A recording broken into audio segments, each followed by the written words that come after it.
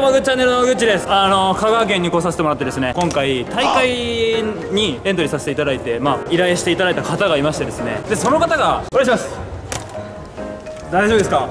お願いします。え丸亀バドミントンクラブの長戸です。いやよろしくお願いします。お願いします。はい。じゃプレイヤーズクラブの鴨田です。マジで編集めんどくさいって。いやなんであの僕があの永田さんと田村さんに誘っていただいて今回あのこの大会に出させていただくことになったんですけど、まあ、その大会のシーンをね僕が試合してるところを撮らせてもらったんで、まあ、早速いきますか。そうですね。ラリーも、まあまあいいラリーも取れたと思うんで。そうですいやそんな感じで、まあ、僕のプレーシーンになりますがあのバドミントンクラブのね PR にもなればいいなと思ったんで香川県でまだ知らない方とかあとは近隣の、ね、方もあの興味を持ってもらえればなと思うんでぜひとも。よろしくお願いします、はいお願いします。こちらまで。あこちらまで。なんかリンクありますか？大丈夫ですか？リンクはありません。ないんかい。ないならこのこちらまで何貼っときますかここ。やってな感じで早速いきましょう。お願いします。